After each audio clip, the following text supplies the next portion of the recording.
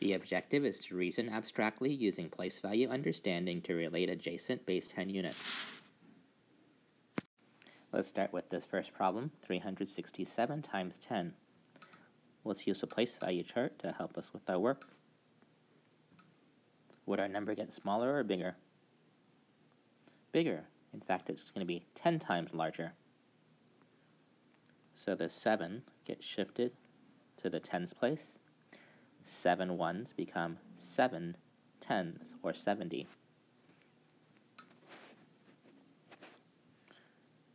And as you can see, we've also can move the other two digits. What do we place in the ones place? Right, we need a placeholder, a zero.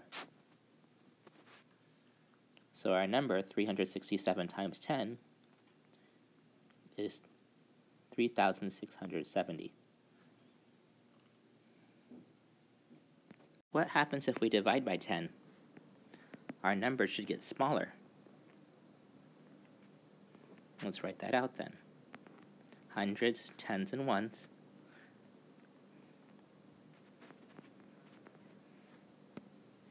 And then so our number gets smaller. Gets shifted over one place.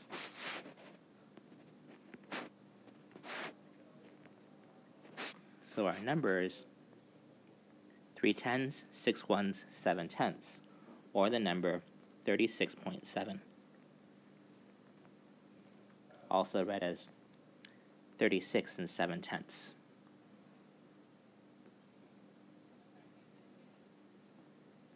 How about 4,367 times 10? Well, it would be equal to 4,367 tens which is written as 43670, or the number 43,670. Within a place value chart, it would look like this.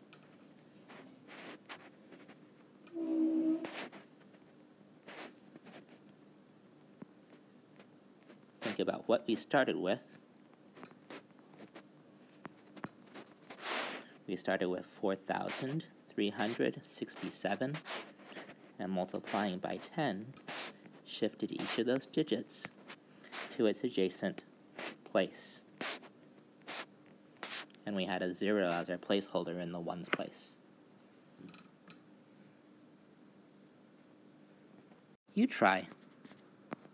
We'll keep the example on the screen here. You try multiplying 3,672 by 10 pause the video while you do your work.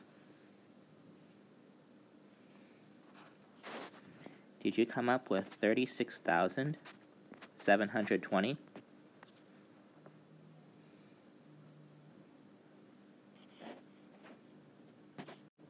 Let's try a problem with the tenths place.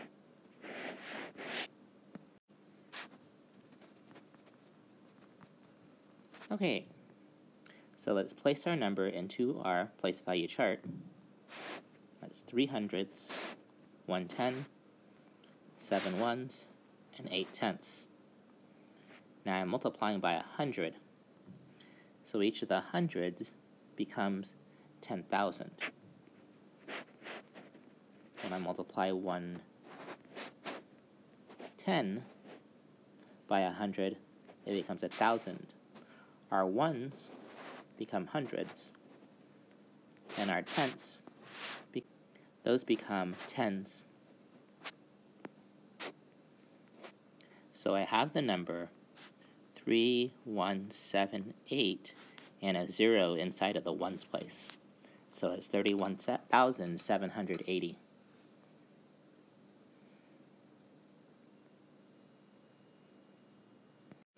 Okay, here we have 326.4 divided by 100.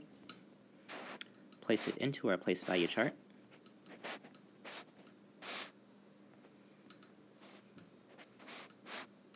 And let's see what we do.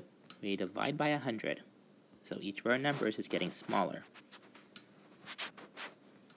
Smaller by 100. So the tenths become thousands. Six of those ones divided by a hundred become hundreds.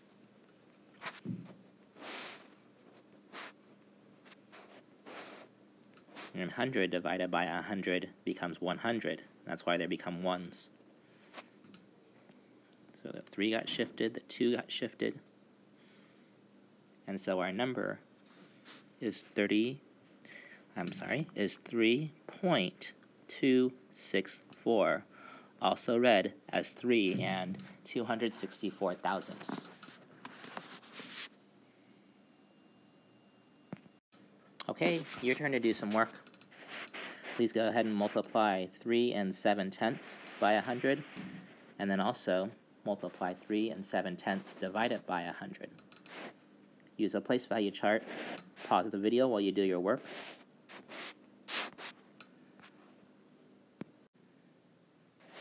Okay, let's see. Multiplying by 100. Place it into the chart.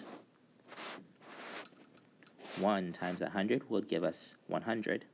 Therefore, 3 times 100 gives us 300. The tenths, when we multiply by 100, become tens. And then so our number is 3, 7, and we needed a placeholder of 0.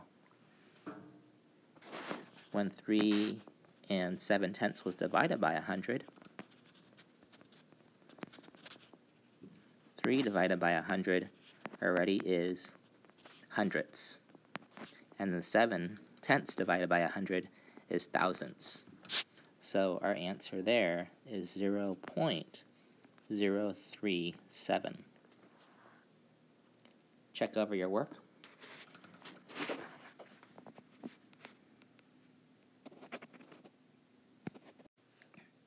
Four hundred eighty-two thousandths times a thousand.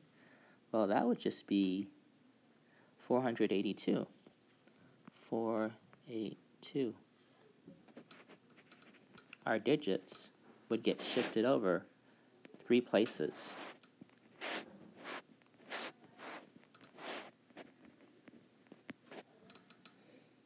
Four hundred eighty-two divided by a thousand. Well, we could rewrite it as this. And written as a decimal is 482 thousandths.